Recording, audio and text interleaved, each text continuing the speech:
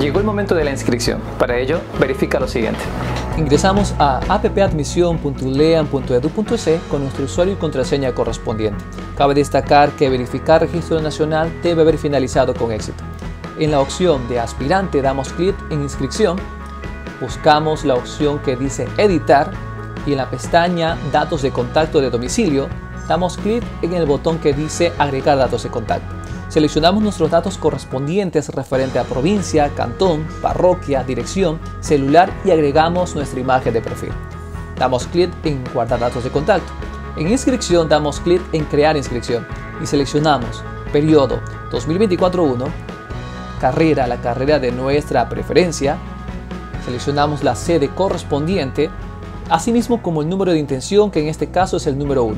Damos clic en crear inscripción. Si nuestros datos son correctos, podemos finalizar la inscripción y de esta manera hemos concluido el proceso de inscripción de manera exitosa. Muchas gracias por tu atención.